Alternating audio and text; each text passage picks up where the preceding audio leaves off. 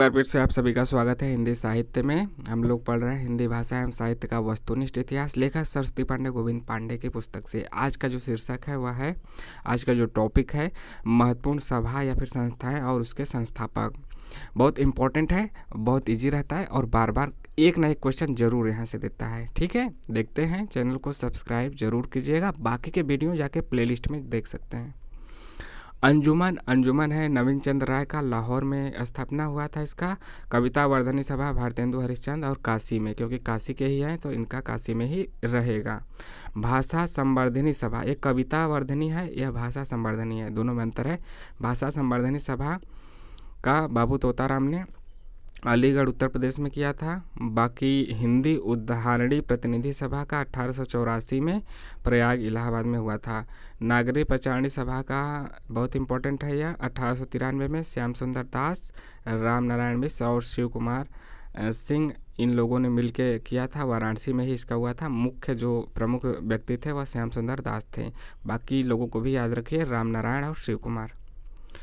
रसिक समाज की स्थापना कानपुर में हुई थी। कवि समाज की स्थापना बाबा सुमेर सिंह ने आजमगढ़ में किया था। हिंदी साहित्य सम्मेलन इसका जो है 1910 में स्थापना मदन मोहन मालवीय के द्वारा प्रयाग यानी कि इलाहाबाद में। दक्षिण भारत हिंदी प्रचार का 1915 में महात्मा गांधी के द्वारा मद्रास यानी चेन्नई में अखिल भारतीय संगीत परिषद का 1919 में हुआ। प्रगतिशील लेखक संघ, इसकी स्थापना 1936 में। प्रेमचंद की मृत्यु भी 1936 में हुई थी, उन्हीं, उसी साल, और प्रेमचंद के द्वारा हुआ लखनऊ में। प्रेमचंद भी ज़्यादा नहीं जिए थे 1880 से 1936 छत्तीस, छियालीस, छप्पन साल ही। इंडियन पीपल थिएटर एसोसिएशन की स्थापना 1942 में हुई थी और परिमल की जो स्थापना 1944 में प्रयाग में हुई थी। साहित्य अकादमी इसका जो संस्थापना उन्नीस में पंडित जवाहरलाल नेहरू ने दिल्ली में किया था। संगीत नाटक अकादमी संगीत नाटक अकादमी की जो स्थापना है, उन्नीस सौ तिरपन में डॉक्टर राजेंद्र प्रसाद के द्वारा दिल्ली में हुआ। यानी पंडित नेहरू और राजेंद्र प्रसाद दोनों वाला दिल्ली में हुआ। साहित्य अकादमी उन्नीस सौ चौवन, पंडित नेहरू दिल्ली और संगीत नाटक अकादमी उन्नीस डॉक्टर राजेंद्र प्रसाद दिल्ली में। तो यह संगीत नाटक पहले हुआ, उसके बाद साहित्य अकादमी हुआ, उन्नीस सौ चौवन। में, साहित्य अकादमी तिरपन में ये पहले ही हो गया था। भारतीय नाट्य विद्यालय, ये दोनों इम्पोर्टेंट है, बहुत ज़्यादा मतलब क्योंकि नेहरू और राजेंद्र प्रसाद ने किया था पहले, प्रधानमंत्री और पहले राष्ट्रपति ने। भारतीय नाट्य विद्यालय, भारतीय नाट्य विद्यालय का उन्नीस सौ उनसठ में इब्राहिम अलका जी ने किया था, दिल्ली में ही। साहित्यकार संसद की स्थापना महादेवी वर्मा ने इलाहाबाद में किया था। इलाहाबाद में महादेवी जी का साहित्यिक जीवन ही बीता वहाँ पे, उनकी शिक्षा दीक्षा और ज़्यादातर समय भले ही उनका जन्म उज्जैन में हुआ हो। उज्जैन में ना? हाँ। हिंदी साहित्य परिषद, हिंदी साहित्य परिषद पुरुषोत्तम दास टंडन ने इसकी स्थापना किया था इलाहाबाद में। टंडन राजर्षि राज राजर्षि मुक्त, राजर्षि टंडन मुक्त विश्वविद्यालय भी इलाहाबाद में तो उसी से याद रख सकते हैं कि पुरुषोत्तम दास टंडन के द्वारा इलाहाबाद में। टो टो टो टो टो टो टो। काशी सार्वजनिक सभा की स्थापना काशी नाम आ गया। काशी में ही होगा और काशी सार्वजनिक सभा भारतेंदु हरिश्चंद के द्वारा हुआ। वत्सल फाउंडेशन कन्फ्यूज़न कर सकता है। यह नई संस्था है मतलब नए में 1980 में हुआ आज्ञे के द्वारा हुआ और दिल्ली में हुआ। वत्सल फाउंडेशन 1980 आज्ञे दिल्ली। मीर मंडल मीर मंडल की स्थापना कब हुई? सैयद अमीर अली के द्वारा हुआ, देवरी में। मीर मंडल, सैयद अमीर अली के द्वारा, देवरी, मध्य प्रदेश में हुआ इसकी स्थापना। हाँ। ये तो हो गया आपका।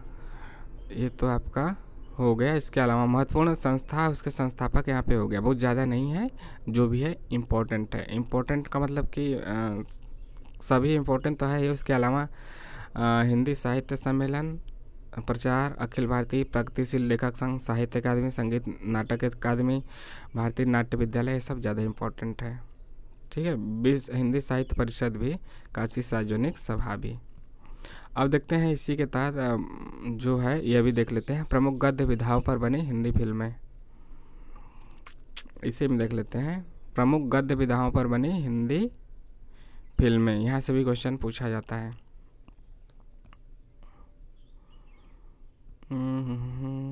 इसको अलग से देख लेते हैं। अलग से देखेंगे, क्योंकि नहीं, इसी में देख ले। कितना है ही। कितना? है ही। उपन्यास उपन्यास का नाम क्या है? कोहबर की शर्त कोहबर की शर्त रचनाकार केशव प्रसाद मिश्र हैं और इस पे जो फ़िल्म बनी थी, नदिया के पार।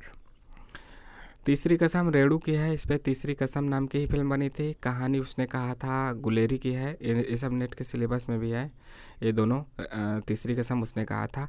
चंद दर शर्मा गुलेरी के द्वारा उसने कहा से नाम थे कहानी यही सच है, मनु भंडारी का है, और यह रजनीगंधा जो फ़िल्म है ना, यही सच है, मनु भंडारी की फ़िल्म पर आधारित है। तमस, नेट के सिलेबस में, भीष्म सहानी के द्वारा है, और इसका जो फ़िल्म बना था उन्नीस अर्थ नाम से। कहानी टोबा टेक सिंह मंटो का है मन्मो मम्मो नाम से फ़िल्म बनी थी उपन्यास झूठा सच यशपाल का है खामोश पानी खामोश पानी पे आ, खामोश नमक पानी इस पे यह फ़िल्म बना था झूठा सच पे यह भी नेट के सिलेबस है में है। मलबे का मालिक मोहन राकेश का है इस पे जो फ़िल्म बनी थी उसका नाम हीना है क्या नाम है? हीना। और ज़िंदगी नामा ज़िंदगी नामा कृष्णा सोबती का है और इस पर जो फ़िल्म बनी थी ट्रेन टू पाकिस्तान फ़िल्म बनी थी। नेट के सिलेबस में है। तो जो जो नेट के सिलेबस में है आप का नहीं पढ़ना चाहते या फिर पढ़ भी लिए हैं तो इसका मूवी देखना चाहते हैं तो यूट्यूब पे खोज के इस नाम से उस मूवी ही देख लीजिए। कुछ ना कुछ ज़रूर मतलब काट छाट के थोड़ा बनाया जाता है पिक्चर, फिर भी लेकिन सत्तर अस्सी परसेंट आपको चीज़ें क्लियर हो जाएँगे कि वो पुस्तक में क्या है। और भूलेगा भी नहीं क्योंकि फ़िल्म के रूप में भूलता नहीं। उपन्यास पिंजर, अमृता प्रीतम का है। इस पे जो फ़िल्म बनी थी, गदर एक प्रेम कहानी, गदर एक प्रेम कहानी पिंजर उपन्यास के ऊपर बनी थी। और पेशावर एक्सप्रेस कृष्ण चंद्र का है। इस पे जो बिरजारा फ़िल्म बनी है, वह पेशावर एक्सप्रेस पे बनी है। दुविधा दुविधा बिरजारा आपने देखा भी होगा। दुविधा विजय विजय दान देथा का है। यह पहली जो फ़िल्म बनी थी, वह दुविधा पे बनी थी। चरणदास चोर, विजयनाथ देथा का यह भी है। यह चरणदास चोर, इसमें तो बदलाव नहीं हुआ। दुविधा का भले ही शीर्षक बदल गया पहले चरणदास चोर चरणदास चोर के ही नाम से। बना। एक खाने आकाश नाई, ये जो मनु भंडारी का कहानी है, उस पर पिक्चर बनी। जीना यहाँ, मनु भंडारी का काफ़ी प्रकाशन हुआ था, चाहे नाटक में हो चाहे पिक्चर में हो, चाहे सीरियल में हो, इनके बहुत कहानियों का बना था ये सब। इसीलिए तो विख्यात हो गई। कम लिखा, लेकिन विख्यात हुई।